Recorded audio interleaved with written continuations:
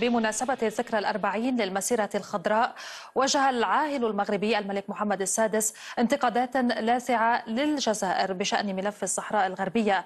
مؤكدا في الوقت ذاته استثمار عائدات هذه المنطقة لصالح سكانها. واتهم العاهل المغربي الجزائر في ترك سكان مخيمات تندوف الصحراويين وترك الصحراويين في وضعية مأساوية وغير إنسانية. كما أكد حرصه على تمكين أبناء الصحراء من الوسائل اللازمة لتدبير شؤونهم وإبراز قدراتهم في النهوض بتنمية المنطقة. كما أعلن العاهل المغربي عن مجموعة من المشاريع كتحلية مياه البحر وإقامة وحدات ومناطق صناعية. وتطبيق الجهوية المتقدمة.